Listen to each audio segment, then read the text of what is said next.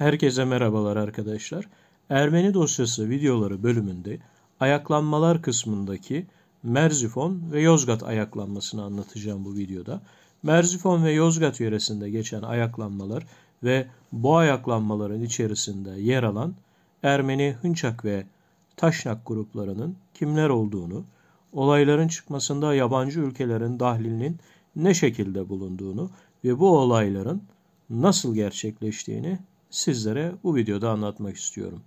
Sağlıcakla kalın, Allah'a emanet olun. Merhabalar arkadaşlar. Bu videoda sizlere yine Ermeni dosyasıyla alakalı olan isyanlar bölümünden Merzifon, Kayseri ve Yozgat olaylarını anlatacağım. Bunun akabinde Sason isyanından bahsedeceğim tekrar. Biliyorsunuz bu Ermeni kalkışmaları, Ermeni isyanları bir seri olarak Anadolu'da, Osmanlı topraklarında devam etmektedir. Tabii ki e, bu isyanlar sistemli ve programlı bir şekilde üst üste yapılmaktadır. Asıl amaç buradaki isyanlarla Ermenileri ve Müslümanları kışkırtarak her iki grubun birbirine girmesi ve bu iş çatışmadan sonra da yabancı devletlerin, İngiltere'nin, Rusya'nın, Amerika'nın, Fransa'nın duruma müdahil olarak bağımsız bir Ermenistan devletinin kurulması amaçlanmaktadır. E tabii ki Osmanlı Devleti bunların farkındadır, gerekli tedbirleri de almaktadır. Lakin o dönemin içerisinde padişahın yaşamış olduğu sorunlar, Osmanlı Devleti'nin Rus Harbi'nin içerisinde bulunması, Avrupalı devletlerle olan yine ihtilaflı konular ve maalesef devletin son derece güçsüz kalmasından dolayı yabancıların baskısı her alanda ciddi bir şekilde hissedilmekte ve Ermenilerin bu kalkışmalarına bastırılsa dahi gerekli hukuksal cevap verilememektedir mahkemelerce. Tabi sürgünler yapılmaktadır, bazı idamlar da uygulanmaktadır. Lakin bu isyanları çıkaran kilit noktadaki adamlar Avrupalıların özellikle İngilizlerin, Rusların yardımıyla maalesef tekrar serbest kalmaktadırlar. Dilerseniz Merzifon, Kayseri ve Yozgat olaylarına değinelim. Farklı kaynaklardan bu olayın detaylarını sizlere aktaracağım. 1892-1893 yıllarında Hınçak komitelerinin eylemleri daha da arttı. Merkezi Merzifon olmak üzere Kayseri, Yozgat ve diğer kasabalarda açıktan açığa propagandalar ve kışkırtmalar yapılmaya başlandı. Bu hareketlerin başında Merzifon Amerikan Koleji'nin öğretmenlerinden Karabet Tomayan vardı. Sekreterliğini yine aynı okulun öğretmenlerinden Orhannes Kayayan yapıyordu.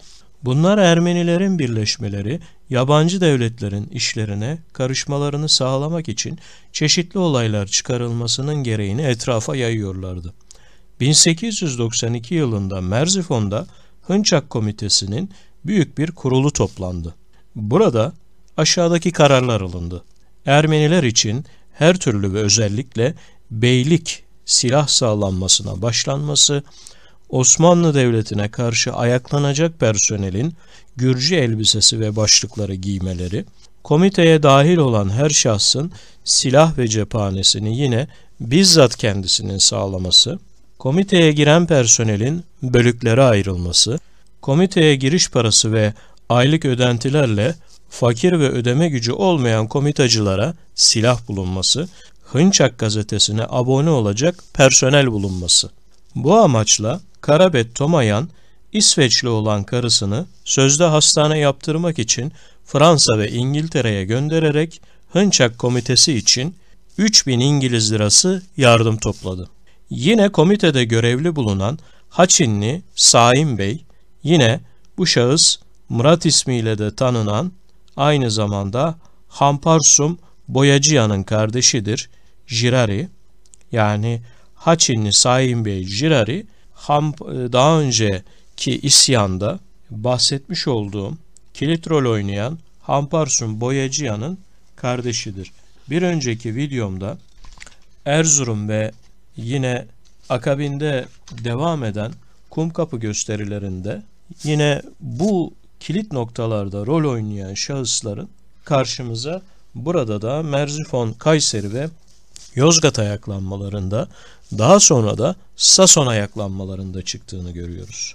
Kaldığımız yerden devam edelim isterseniz. Bu Hampors'un Boyacıyan'ın kardeşinde kalmıştık. Bir savaş anında Ermenilerin hayatlarını koruyabilmeleri için silahlanmalarının gerektiğini etrafa yayıyordu. Bu Haçinli Saim Bey. Bu arada Hınçak Komitesi temsilcilerinden olup daha evvelde birçok olaya adı karışan Andon Rishtuni isminde bir şahıs Kayseri'ye gelerek konferanslar vermeye ve halkı kışkırtmaya başladı. Daha sonra Derevenk yani o dönemde bilinen diğer bir adıyla Dionik Manastırı'na yerleşen Andan Rishtuni Saim Bey ile Jirari ile birleşerek Merzifon'da hazırlanan duvar ilanlarını, beyannamelerini köylere kadar dağıtmaya başlamıştı. Bundan sonra Hınçak Komitesi'nin Merzifon ve Deremek Manastırı'ndan yöneticiler ile çetecilerle çevrede bir takım eylemlere başladılar. Bunlar aldıkları kararları ve bu kararları da bölgedeki Ermenilere duyurmak için ilanlar hazırlayıp köylere kadar dağıtıyorlar. Yani son derece pervasızlar. Peki böylesine bir kurulmuş olan örgüt Osmanlı Türk topraklarında nasıl bu kadar pervasızca rahat hareket edebiliyor? Arkasında büyük bir istihbarat servisi olmasa bunlar bu broşürleri hazırlayıp isyanı nerede başlatacaklar, nasıl başlatacaklar, kimlerle görüşecekler, nasıl bir çete kurup askeri üsleri, jandarmayı, diğer devlet kurumlarını basacaklar ve bu baskınlarda özellikle şehir baskınlarıdır bunlar. Bu baskınlarda şehirlerde hangi noktalara kaç kişi kimler yerleşecek bunların belirlenmesi hep bir istihbarat faaliyetidir ve arkasında büyük bir devlet vardır. Yani İngiltere. Aynı zamanda Amerika vardır. Amerika'nın misyoner okulları, hastaneleri, İngiliz okulları, Fransız okulları bu Ermeni komitecileri Hınçak komitecilerini, Taşnak komitecilerini yıllarca kendi bünyelerinde, okullarında yetiştirmişler. Aynı zamanda bu okullara Ermenilerle beraber Rumları da almışlardır ve kalkışmalarda hep beraber hareket etmişlerdir. Öncelikle okullarda Ermeni terör örgütünü kuracakları altyapıdan yetişecek olan kişileri seçmişler, belirlemişler. Bunlara ideolojik eğitim vermişler. Derken silah eğitimi vermişler, istihbarat eğitimi vermişler. Silah ve para verdikten sonra da bu örgütlerin eyleme geçmesi için yine sahada her türlü yardım yapmışlardır. Zaten bu yardım olmasa bu Ermeni çeteleri, terör örgütleri bu kadar rahat hareket etmez. Bakınız bu Ermeni terör örgütünü daha sonradan da Türkiye Cumhuriyeti Devleti'ne karşı yönelecek olan Asala'nın temellerini zaten burada görüyoruz biz. Yani Asala Ermeni, Hınçak ve Taşnak partilerinin terör kurmuş oldukları çetelerin ve terör örgütlerinin bir devamıdır. Asala'nın devamı da PKK terör örgütüdür. Yani aslında PKK bir Ermeni terör örgütüdür. Bir takım içerisinde kullanmış olduğu Kürtler var mıdır? Tabii ki olabilir ama bunlar çok küçük bir gruptur. Ancak burada tekrar söylemek istiyorum. O dönemde Ermeni terör örgütleri, Hınçak örgütleri, Taşnak örgütleri bunlar Türklere ve Kürtlere bölgede yaşayan Araplara da aynı derecede şiddet uygulamaktadır. İlk birinci düşmanları Türklerdir. Arkasından Kürtler gelir. Bunlar katliam yaparken Türkleri, Kürtleri bölgede ciddi bir şekilde katliama uğratmış ve hiçbir şekilde kadın, çocuk, yaşlı, masum demeden herkesi katletmişlerdir. Yani sadece kahraman Türk askerine silah sıkmamışlar, suikast yapmamışlardır. Aynı zamanda masum köylüye, kadına ve çocuğa katliam yapmışlardır. Bir sonraki videolarda da bunu detaylı bir şekilde göreceğiz. Konumuza devam edelim. Şimdi e, bakınız bu az önce bahsetmiş olduğum Andan Rishtuni ve yine Boyacıyan'ın kardeşi olan Saim Beyli Jirari bu şekilde broşürleri dağıtıyorlar. Peki bunların kurmuş olduğu teşkilatın Merzifon, Kayseri ve Yozgat'ta girişmiş oldukları olaylar nelerdir? İlk önce Osmanlı postasının yolu kesiliyor. Sürücü ve muhafızı saldırıya uğruyor, yağma ediliyor yani. Daha sonra Yozgat'a giden postacının sürücüsü ve koruyucusu öldürülüp yine buradaki para ve değerli eşyalar alınıyor, yağma ediliyor. Palas menbaası yani tuz çıkarılan yer postası soyuluyor gene aynı şekilde yağma ediliyor. Duyunu Umumiye kolcusu İzzet Bey'in atı çalınıyor bölgede. Maden kenti postası sürücüsü ve yine muhafızı öldürülüyor. Gülbenk, Panos ve Mihrican adındaki Ermeni çeteleri İstanbul'dan dönüşlerinde Ankara'da kiraladıkları arabanın sürücüsünü Yozgat yolunda boğuyorlar. Atlarını, parasını ve saatini aldıktan sonra da atları Tokat'ta satıyorlar. Tabi bu hınçak örgütleri değişik bölgelerde kollara ayrılıyor. Mesela burada Gülbenk, Panos ve Mihrican adında gruplara ayrılmışlar. Bunlar aslında e, çete liderleriyle bağlantılı küçük gruplardır. Yani bir ortada bir çete var. Bir terör örgütü var bu ve bu terör örgütünün bölgede diğer hücreleri alt kolları var. Aynı bugün PKK'yı nasıl böldüler? İşte PEJAK var, PYD var. İşte ondan sonra e, bunların bir diğer kolu olan DAEŞ, ya işte o ondan sonra yine e, Suriye'de de karşımıza çıkmış olan bu ünlü bir terör örgütü vardı. Neydi ismi? Amerika buraları ciddi bir şekilde bombalıyordu. Neyse videonun kalanında e, aklıma gelirse söylerim. IŞİD, IŞİD. Yine IŞİD dediğim gibi aynı mantıkla kurulmuş örgütlerdir. Yani tarihe baktığımız zaman biz dün olduğu gibi bugün de bu terör örgütlerinin aynı şekilde yapılandığını görüyoruz. Bunlar da az önce ismini saydığımda dediğim gibi alfabede harf çok, kelime de çok, ekle ekle çıkar terör örgütü. Önemli olan baştaki yönetici tayfasıdır. İsimlerin artık bir anlamı yoktur. Çünkü hangi isimde olursa olsun onların amacına hizmet ederler. Burada da bu Ermeni küçük çetelerin yine bölgesel kalkışmalarda halkı yağmaladığını, öldürdüğünü görüyoruz. PKK da aynı taktikleri uyguluyordu Doğu ve Güneydoğu Anadolu'da. Köyleri basıyor, yağmalıyor. Kendisine karşı çıkan bölgede Kürt kökenli Türkleri katlediyor. Baskı politikası uyguluyordu. Burada da aynısı mevcut. Bu olaylar üzerine Riştuni yakalanıyor. Yani bu Andan Riştuni. Üzerinde Hınçak Komitesi'nin güvenlik belgesi, icra memurluğu belgesi ve mührü bulunuyor. Deverenk Manastırı'nda yapılan aramada da birçok belgeler ele geçiriliyor. Bunun sonucu yapılan araştırmalarda eylemlerin elebaşlarının Merzifon Amerikan okulu öğretmenlerinden Karabet, Tomayan ve Ohannes Kayayan olduğu anlaşılıyor.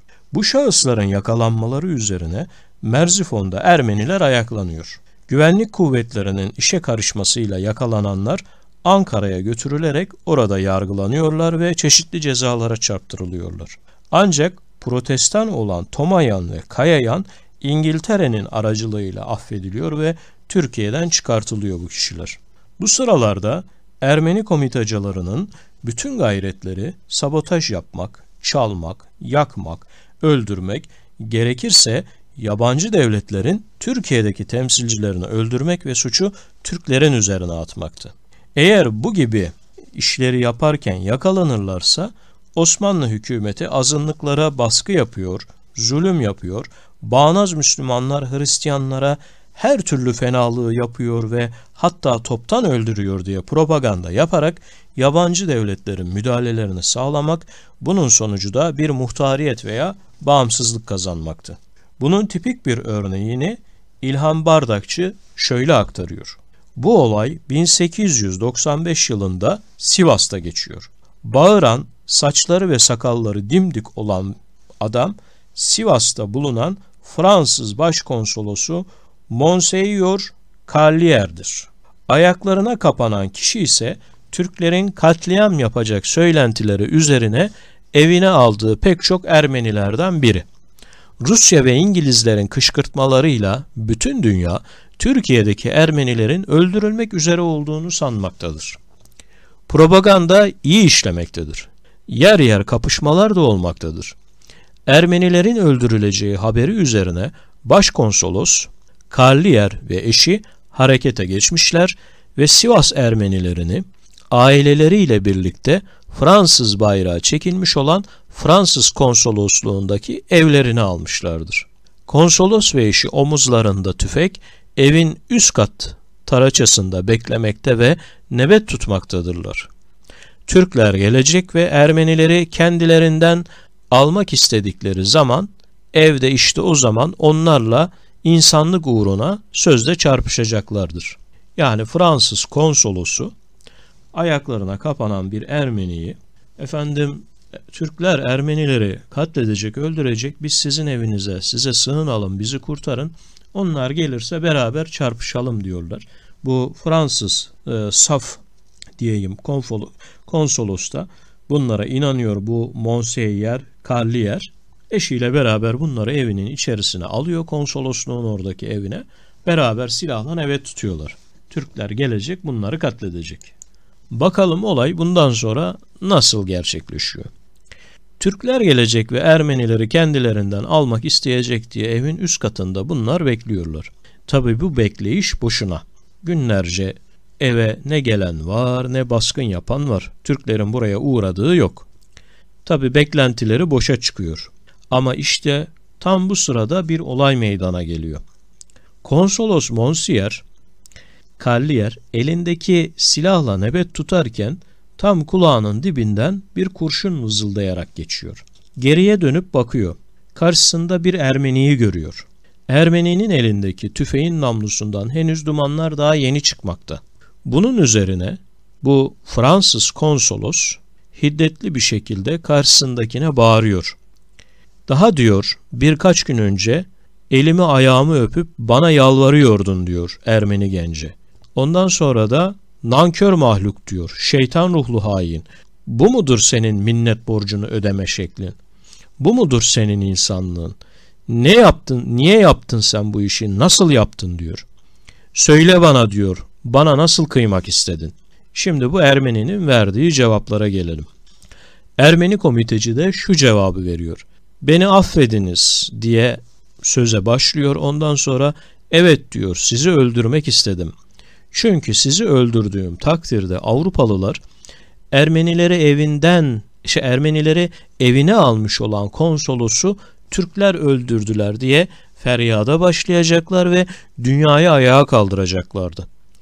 Davamıza hizmetti bu diyor konsolosa. Tabi konsolos şaşkınlık içinde olduğu yere çöküyor. Bakınız bu hadiseden bu küçük bir hadise gibi görünüyor ama gerçekleşseydi çok büyük bir hadise olacaktı.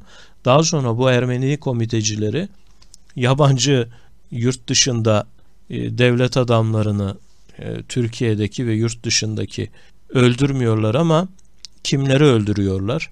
Türk bürokratları öldürüyorlar, büyükelçileri öldürüyorlar bu Ermeni komitecileri. Eğer bu olay gerçekleşmiş olsaydı, bu Fransız konsolosu ölmüş olsaydı suçu Türklere atacaklardı. Yani katliam hikayelerinin iç yüzünü yine batılı yabancılardan dinlemeyi biz sürdürmeye devam edelim. Osmanlı jandarmasını ıslah heyetinin başındaki Fransız generali Bauman şiddet hareketlerine girişenlerin daima Türkler olduğu yolundaki iddialar sakat iddialardır diyor. Yine Fransız sağlık ekiplerindeki rahibelerden Jeanne Carlit de heyetlerimizdeki sörlerden hemşirelerden veya bize yardımcı olanlardan hiçbirisi bir katliama tanıklık etmiş değillerdir. Biz Ermenilerin bulundukları doğu bölgesindeydik. Hayır efendim, Türklerden şikayet edecek durumda değiliz. Üzerimizdeki rahibe elbisesine Türkler Hristiyanlardan daha fazla saygı gösterdiler diyor. Bu şehadet üzerine Türk ve Müslümanların tutumlarına bağnazlık ve Hristiyan düşmanlığı yakıştırmak elbette mümkün olamaz. Türkiye'deki Ermenilerin durumu ve Merzifon bölgesindeki Ermenilerin çalışmaları hakkında İstanbul'dan 27 Mayıs 1893 tarihinde Frank Clariford tarafından Lord Rosenberry'e gönderilen mektupta şunlar yazmaktadır. Doktor Joseph Green'in benimle tanıştırdığı Doktor Smith, Doktor Fransfurt ve Operatör Dut bu sabah beni görmeye geldiler. Doktor Smith Merzifon'da, diğer ikisi Kayseri'de oturuyordu. Bunlar bana Ermeniler arasında gizli bir dernek bulunduğunu, bu dernek üyelerinin korkunç olduklarını ve silah tedarik ettiklerini, para topladıklarını, amaçlarının açıkça ihtilal yapmak olduğunu, emir verilince adam öldüreceklerini, kendi hallerinde olup bir işe karışmayan Ermenilere de terör uygulayacağını söylediler. Bu şahıslar bana Ermeniler arasında fesat sokma ve onları isyan ettirme çalışmalarının yalnız Gregori, Gregorian Ermenilerine uygulanmayarak protestanlar arasında da yayıldığını, komite üyelerinin yazın dağlara çıkacaklarını, eşkıyalık yapacaklarını, jandarmaları uğraştıracaklarını ve Ermeni sorununda yabancı devletlerin gözlerini kendilerine çevirmelerini sağlamak için uğraşacaklarını açıkça söylemektedirler. Müslüman halkın telaş ve heyecanlı olduğunu ve Müslümanlarla Hristiyanlar arasında büyük bir duygusal gerginlik olduğunu eklediler. Doktor Smith aldığı haberlere göre Merzifon, Amasya ve diğer bölgelerde bazı Rus ajanlarının da bu hareketi özendirdiğini ve cesaret verdiğini söyledi. Mr. Smith, ihtilal komitelerinin İngiltere ve diğer Avrupa memleketlerinde Ermeni sorunlarına karşı duyulan ilgi ve sevgiden cesaret aldıklarını ve bu nedenle son günlerdeki hareketlerinin daha atak ve saldırgan olduğunu söyledi. Kendi halinde ve hiçbir şeye karışmayan, karışmadan yaşayan bazı Ermeniler bu nedenle çok korkmakta ve istemeyerek komitacılara yardım etmek zorunda kalmaktadırlar. Gerek Doktor Franz Ford ve gerek Mr. Dodd Ermenilerin Ermeni oldukları için özel bir ıstırapları bulunmadığını ve Ermenilerin hiçbir şekilde Rum azınlığından daha kötü bir durumda olmadıklarını ve birçok bakımdan Müslüman halkla eşit değerde acı çektikleri düşüncesindedirler. Hristiyanların durumunda bazı ayrıcalıklar vardır. Ancak bunların giderilmesi her zaman için olanaklıdır. Son yıllardaki Hristiyanların durumunda büyük bir düzelme vardır. Bu durum ve hareketler Ermeniler arasında pek açık olarak görülen ve yakın bir gelecekte tehlikeli bir şekil alacak olan isyan hareketlerini haklı göstermeyecektir. Bu şahıslarla konuşmam bende şu izlenimi bırakmıştır. Türkiye hakkında iyi bilgi alan ve deney sahibi olan bütün insanlar ve özellikle Ermeniler bizim tahminimizden daha çok önce isyan hareketlerinin başladığına ve genişlediğine, ihtilal elebaşlarının korkunç şahsiyetler olduğuna, bunların başka bir bölgede veya başka bir büyüklükte Bulgaristan'daki duruma benzer bir yönetim şekli yaratmayı arzuladıklarına inanılmaktadır. Görülüyor ki Frank Clark Fort'un mektubuna ilişik muhtırası bölgedeki durumu tamamen aydınlatıyor. Ermenilere bir ayrıcalık yapılmamıştır. Büyük sorunları da yoktur. Müslim ve gayrimüslimlerle aynı yaşamı sürdürmektedirler. Ermeni komitacılarına karşıdırlar. Çünkü devletten de korkuyorlardır. Komitacıların baskılarına boyun eğmek zorunda kalıyorlar. İstemeyerek de olsa bazıları onlara yardım ediyorlar. Onlardan istenileni yapıyorlardır. Yabancı devletlerin teşvik ve kışkırtma ve yardımlarıyla Ermeni komiteleri her çeşit vasıtayı olumlu sayarak sözde hak, adalet, bağımsızlık için hazırlanıyor, fırsat kolluyor ve kendileriyle beraber Ermeni azınlığının da sonunu hazırlıyorlardı. Bu görüşler bu bölgede yaşayan bazı yabancıların görüşleri. Ermenilerin kurmuş oldukları komitalarla alakalı bizlere az da olsa bilgi aktarıyorlar. Şimdi gelelim az önceki isyan bölümümüze. Yani Merzifon, Kayseri ve Yozgat'taki olaylara. Bu olayları biraz önce size anlatmıştım. Şimdi bu olayların diğer alt metinlerini kısaca da size aktararak tamamen Merzifon, Kayseri ve Yozgat yöresindeki olayları anlatarak bir nebze de olsa mevzuyu aydınlatmış olalım. Ermeni çetelerinin bölgedeki saldırılarına devam ederek insanları öldürmeyi sürdürmeleri üzerine 1893 yılının Ocak ayında Ermeni okul ve kiliselerde yapılan aramalar sonucunda bu saldırıyı örgütleyenlerin Merzifonlu, Amerikan Koleji öğretmenlerinden Tomayan ve Kayayan oldukları ortaya çıkmıştı. Bunun üzerine güvenlik güçlerinin Merzifon'da bulunan Ermeni protestan okulunda arama yapmak istemeleri üzerine Amerikalı misyonerlerin himayesi altında bulunan Ermeni öğretmenler ve diğer misyonerler polise karşı koyuyorlar. Ermeni tarihçi Sarkisyan bunun üzerine polisin okulu ateşe verdiğini öne sürüyor. Nitekim komitenin idarecileri Tomayan ve Kayayan tutuklanıyor. Tutuklanan şahısların suçlu olup olmadıklarının araştırılması için Amerika Birleşik Devletleri Büyükelçiliği İstanbul'dan Başkatip Newberry'i Sivas'a gönderiyor.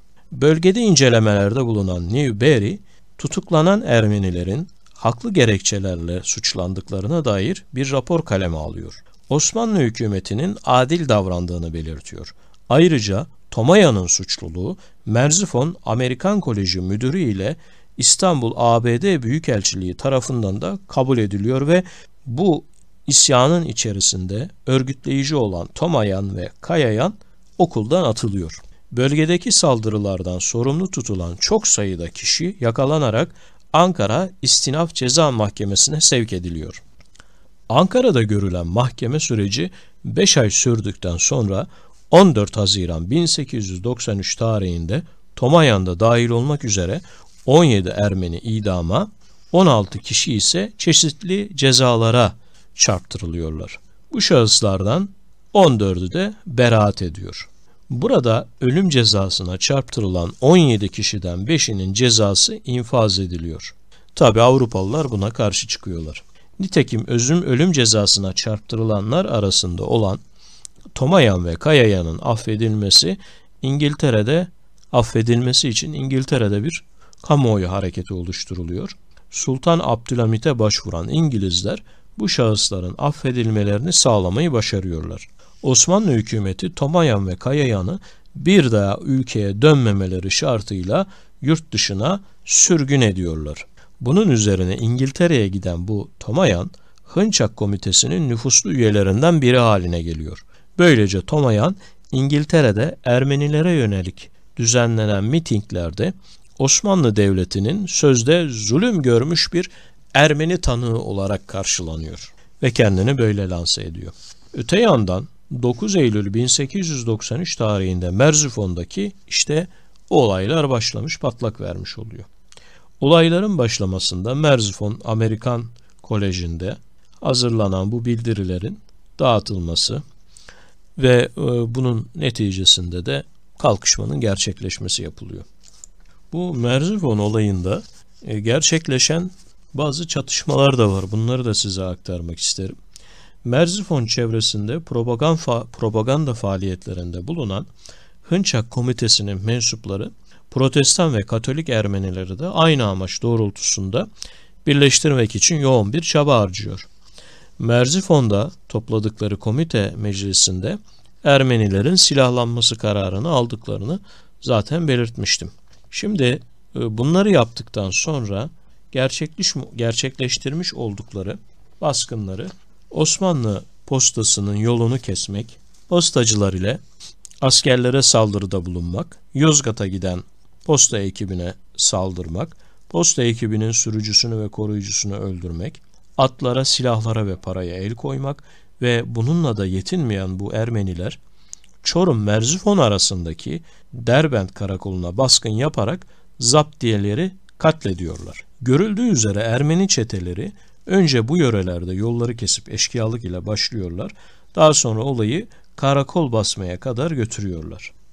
İşte Merzifon, Yozgat, Çorum ve Kayseri hattında meydana gelen olaylar kısaca bu şekilde. Tabii ki burada şöyle bir durum var. Niçin Merzifon seçildi? Onu da sizlere şöyle aktarayım. Yani bu kadar Türkiye'de yer varken bu Merzifon'un özelliği nedir de burada bir misyoner okulu var ve burada kalkışma düzenleniyor. Amerikalı misyonerler 1852 yılında Merzifon'da bir istasyon kuruyorlar. Amerikalıların Merzifon'u önemli bir misyoner merkezi olarak seçmelerinin en önemli sebebi burada bir hayli Ermeni ve Rum nüfusunun bulunması ve Merzifon'un bölgenin yol kavşağında yer almasından kaynaklanıyor.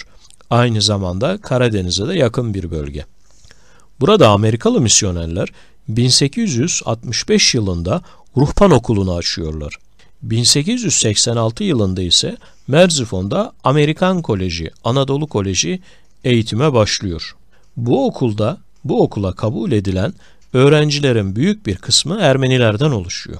1892-1893 döneminde okula kabul edilen 123 öğrencinin 95'i Ermeni, 23'ü Rum, 3 tane Türk ve 2 tane de Almandan oluşuyor. Ancak Türk öğrenciler daha sonra yani birkaç gün sonra bu okuldan ayrılıyorlar. 1897 yılında kolejde okuyan 149 öğrencinin 109'u Ermeni, 40 tane Rum. 1901-1902 yılında okulda 175 tane Ermeni, 75 tane Rum öğrenci bulunuyor.